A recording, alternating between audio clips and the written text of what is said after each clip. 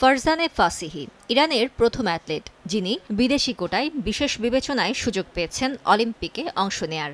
ইরানের ইতিহাসে সাতান্ন বছরে এই প্রথম কোনো অ্যাথলেট হিসেবে ফারজানে প্রতিদ্বন্দ্বিতা করবেন দ্য গ্রেটেস্ট শো অন আর্থের একশো মিটার স্প্রিন্টে। এমন প্রাপ্তির পর উচ্ছ্বাসের মাত্রাটা আকাশচুম্বী হবে, তা তো স্বাভাবিকই। আর এই অনুভূতি যে ভাষায় প্রকাশ করার মতো নয়, তা নিজেই জানালেন ফারজানে।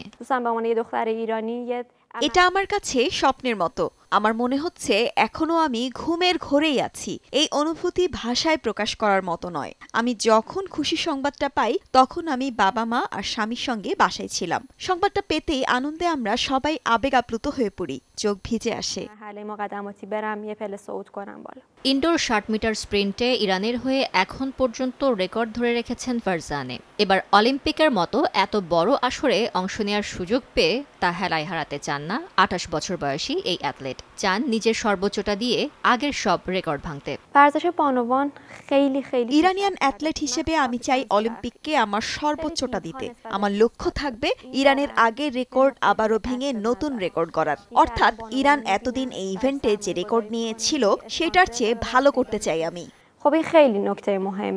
অলিম্পিকে সুযোগ পেতে ফারজানেকে অনেক কাঠখড় পোড়াতে হয়েছে পার হতে হয়েছে অনেক ধাপ। তারপরও দিন শেষে এমন প্রাপ্তিতে যেন নেই আনন্দের কোনো সীমানা।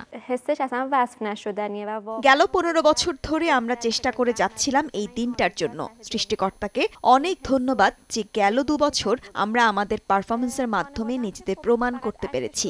তিনবার জাতীয় রেকর্ড ভেঙেছি দুইবার আন্তর্জাতিক আসরে সুযোগ করে নিয়েছি আর এজন্যই আমরা আজ অলিম্পিকে খেলার সুযোগ পাচ্ছি। ইরানের নবম নারী অ্যাথলেট হিসেবে টোকিও অলিম্পিকের জন্য নির্বাচিত হয়েছেন ফারজানে লড়বেন অসাম্প্রদায়িক কোটায়। ফারজানা মুমু সময় সংবাদ।